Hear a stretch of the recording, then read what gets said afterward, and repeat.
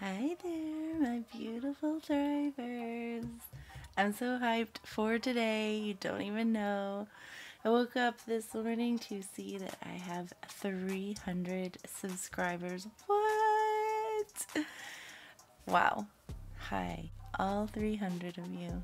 Hi. Hi, you, and you, and you, and you, especially you.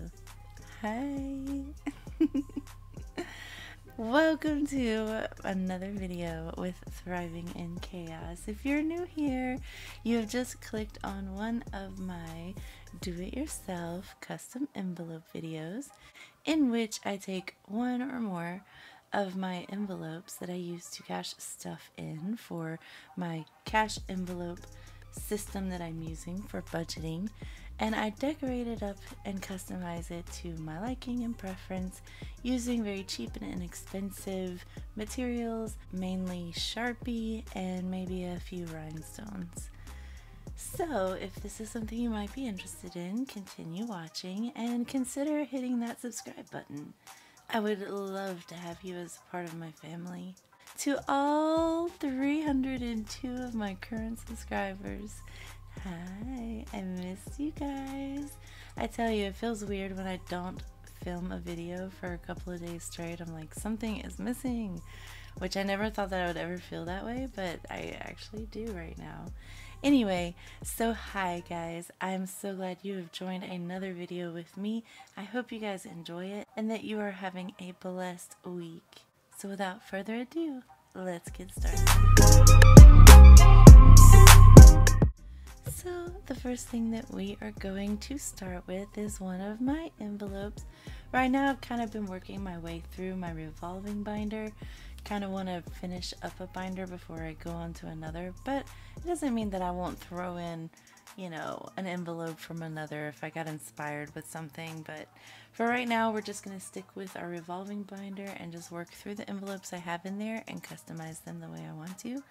So with that being said, we're going to start with eating out. I kind of alluded to this in one of my last videos that this might be the next one, and it is.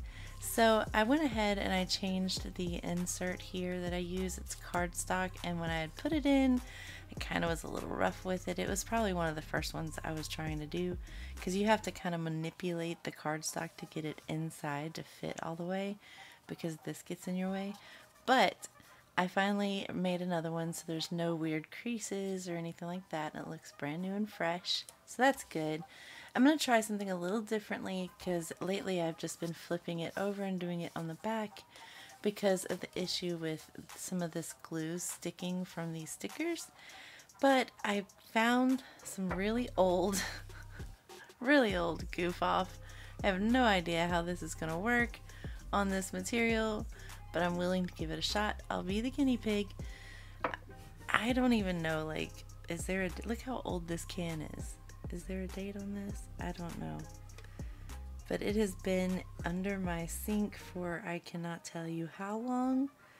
And you know, it, it removes glue and adhesives and sticker residue. So that's right up my alley and something that I actually need. But I just don't know how it's going to work on this material, but we'll see. We'll see how it goes. So I'm just going to try and do that really quick off camera and get the sticky residue off, let it dry really, really good, and then we'll come back and we will actually do this. Now you won't see any of that process, so literally it's going to be just a one frame. We'll get started. But before I go to work on getting this off, I want to show you what I'm going to replace it with this.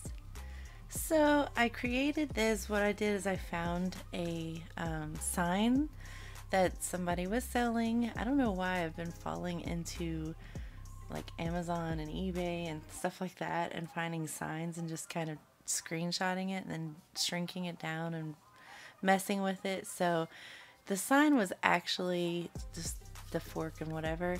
And so I kind of like split it up and separated them out to where I could do this. I added my font in here. It's relatively small for this envelope, but I think I'm to like it just because this part is big. And yes, I know that this and this doesn't necessarily match up, so I might try and finagle that as I'm working, but we'll see. So anyway, I took all of these images and I put them in my Pocket Procreate on my phone and I like smushed it down, spread it out like it was a lot larger than this, and then added my font that I like in between. We're gonna change it from eating out to dining out because because you know we're all adults here this has other meanings. That's all i'm gonna say. So i feel like dining out is a lot more appropriate and better and i don't feel as awkward saying that. Forgive me.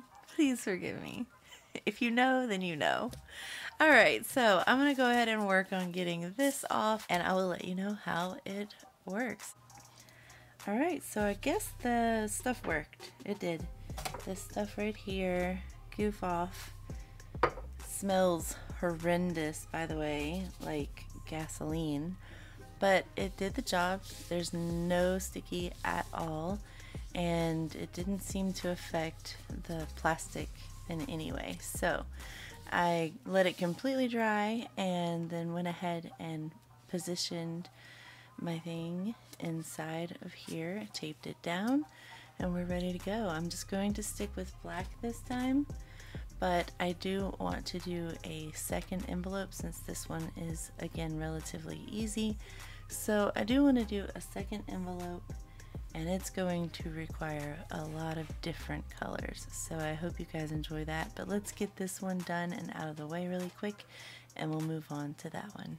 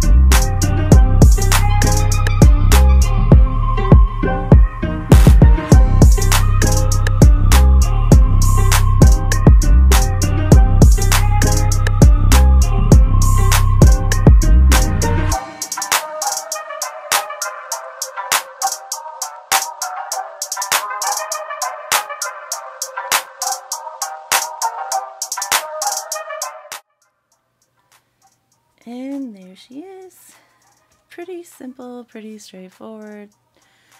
I decided instead of doing the double line that I had going on down here, just to do it one solid line because, you know, it's not really a thin, you know, point, so kind of hard to do very small lines. So I'm going to put this to the side, let it dry, and we might come back to it to do a little bit of rhinestone stuff. But until then, let's get to our next envelope. Miscellaneous. Just like the last one, I need to take all of this off and clean off the residue that's left from the stickers, let it dry completely, and then we will get to what we're going to do on it. Let me go ahead and show you, and then I'll just go straight into doing it. That's what you'll see next. So this is what we're gonna do. Might be a little difficult to see, but this is what it is.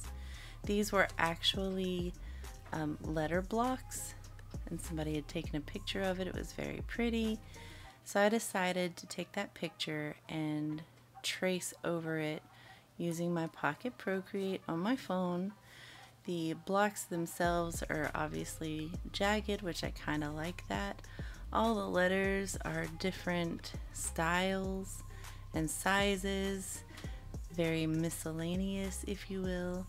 So I think my thoughts are I'm going to make the blocks themselves different colors all throughout and then make the letters black. So we'll see how that goes. Um, I'm just gonna play by ear as I go and then what I you know want to do as I'm going along. But let me go ahead and show you all the mini colors.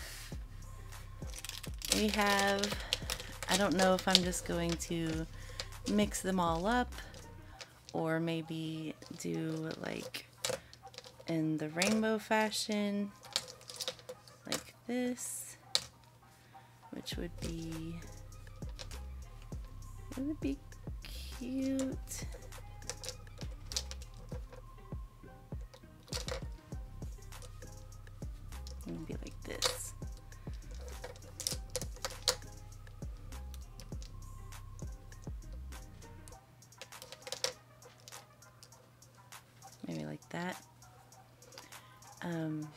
which would also be cute or I can just mix them all up. I haven't decided yet so we'll see as I go along but in the meantime I need to work on getting these stickers off so I'm gonna do that off camera. The next clip you'll see is me just continuing the process so enjoy watching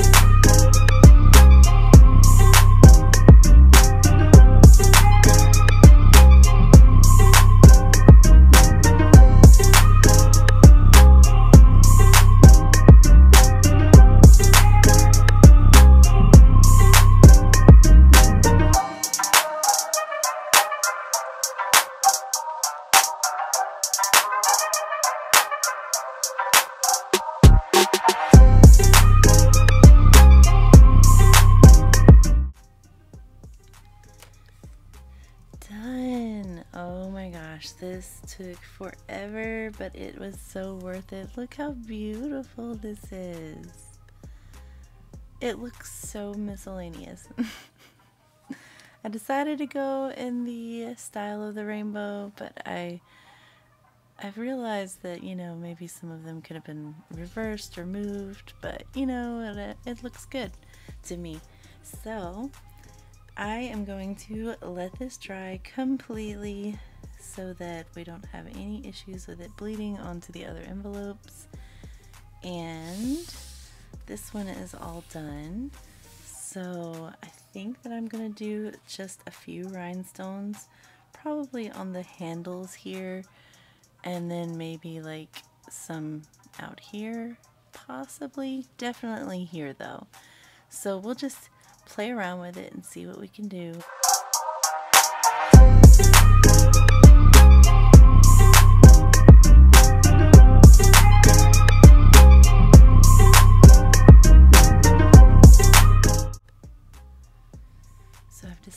Decided that I'm only going to do rhinestones on these. And so I'm done.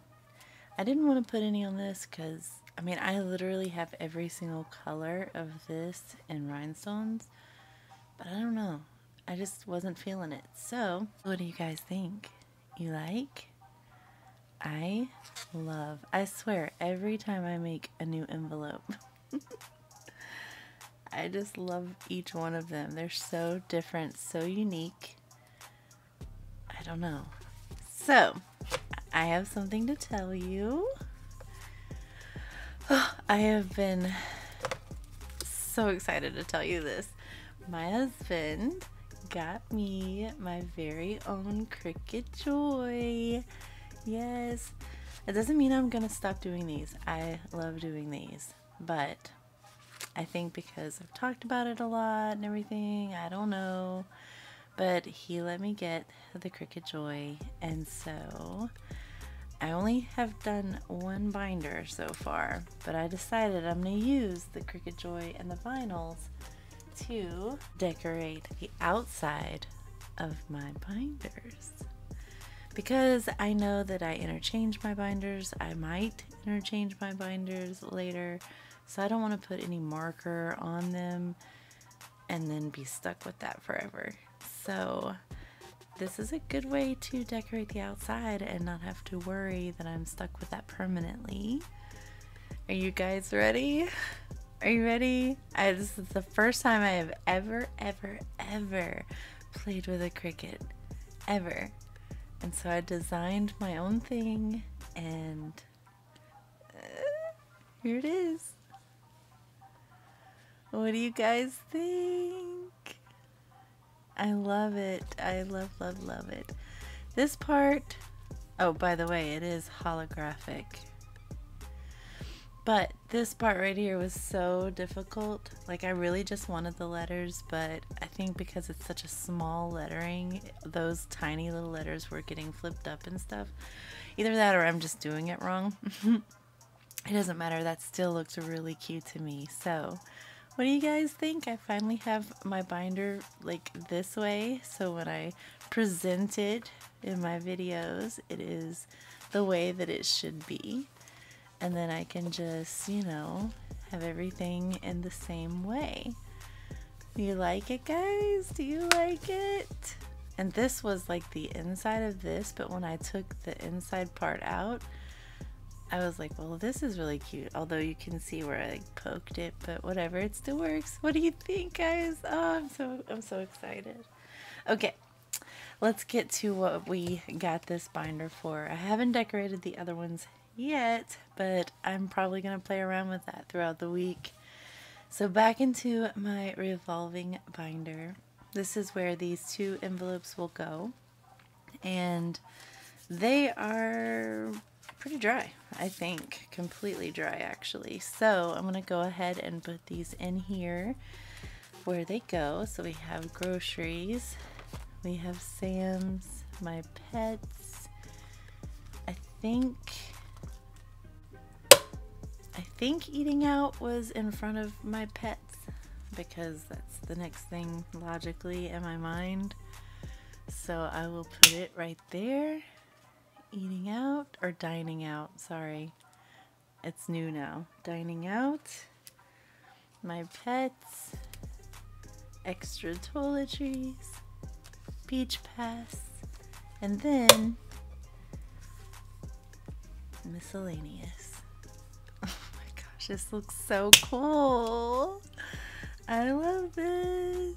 I love it. I love it. So that just leaves to the bank and roll over these last two.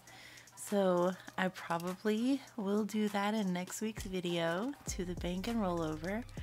I already have this one designed. I have a design for this, but I think I might end up changing it because I'm kind of like, eh, and I don't want to be eh, you know. If I'm gonna do it, I want to be like this is it.